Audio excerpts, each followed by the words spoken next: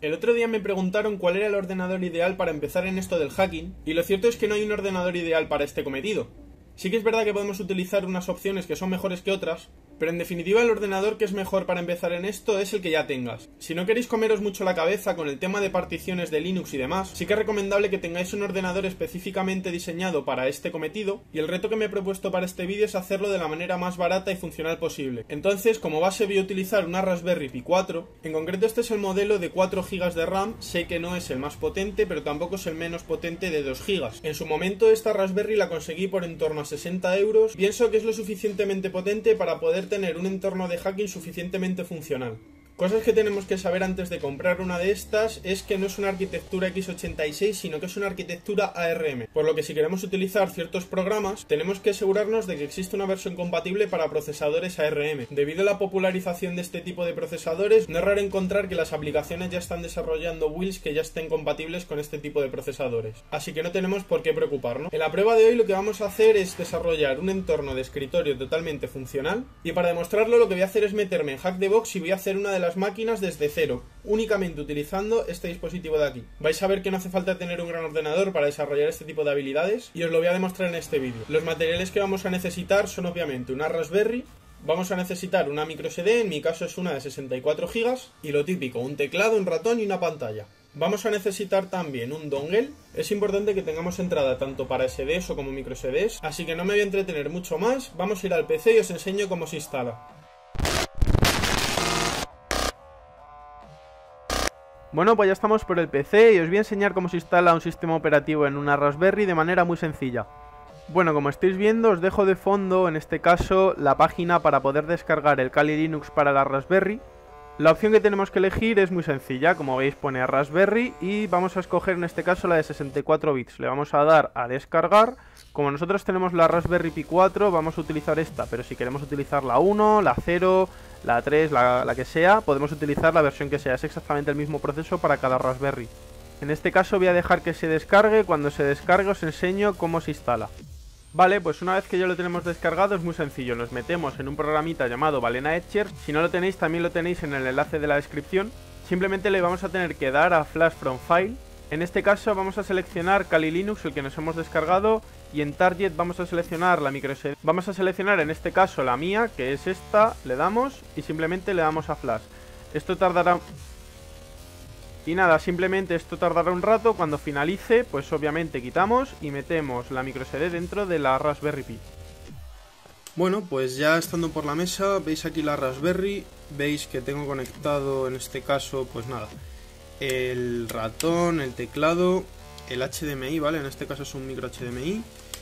Y nada, simplemente para encenderla enchufamos el USB-C y vais a ver como en la pantalla ya pues tenemos el sistema operativo encendiéndose. Cuando esté os lo enseño. Vale, pues como veis ya tenemos un entorno de escritorio totalmente funcional dentro de la Raspberry Pi. Ahí está. Y bueno, cosas interesantes que podemos ver para que veáis que es exactamente lo mismo que en un entorno de escritorio de sobremesa. Pues nada, vamos a abrir la terminal y vamos a intentar eh, listar ciertas cosas que vamos a usar normalmente a la hora de resolver máquinas, como puede ser, por ejemplo, Nmap, a la hora de resolver, como veis la tenemos perfectamente. Eh, en este caso, ¿qué más podemos ver? UFUF, eh, también la tenemos. Otros programitas que podemos usar, por ejemplo, Dirbuster, vamos a ver. También lo tenemos para listar directorios, en este caso. Ahí lo tenemos. Eh, ¿Qué más cosas podemos tener por defecto? Dejadme pensar, pues por ejemplo directorios, en este caso vamos a entrar en CD, eh, creo que estaba en User Share, lo he buscado antes, Wordlist. Y como veis, pues aquí tenemos un montón de eh, directorios. De hecho, si nos metemos aquí, vamos a ver que tenemos un montón de diccionarios para poder utilizar con estos eh, programas que os he enseñado antes. Pero bueno, para no entretenernos mucho, lo que vamos a hacer es meternos en Hack the Box y vamos a resolver una máquina bastante sencilla. Para que veáis que desde este escritorio, como veis, vamos a poder eh, practicar todo el tema de hacking sin tener que gastarnos una riñonada. Así que voy a loguearme en Hack the Box me conecto a la VPN y os enseño cómo resolver una máquina muy sencilla.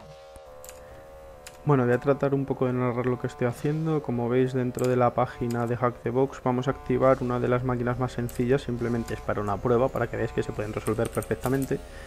Y una vez nos hemos conectado al VPN vamos a hacer un nmap para escanear todos los puertos que tiene la IP a la cual nos queremos dirigir. Estoy poniendo a cámara rápida esto, pero vais a ver el reporte de nmap súper rápido.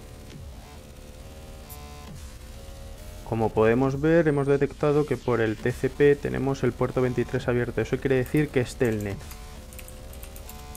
Bueno, simplemente vamos a utilizar una de las herramientas más sencillas que existen, que es Telnet.